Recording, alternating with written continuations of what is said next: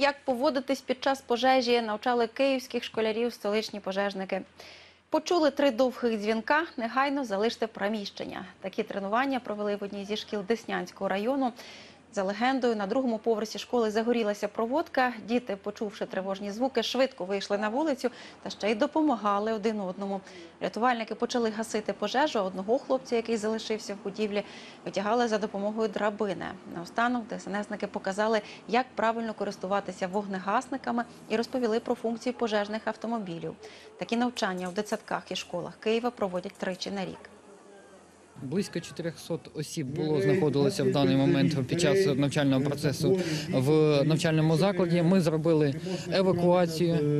Трохи е, більше двох з половиною хвилин е, нам довелося для того, щоб діти вийшли звідти.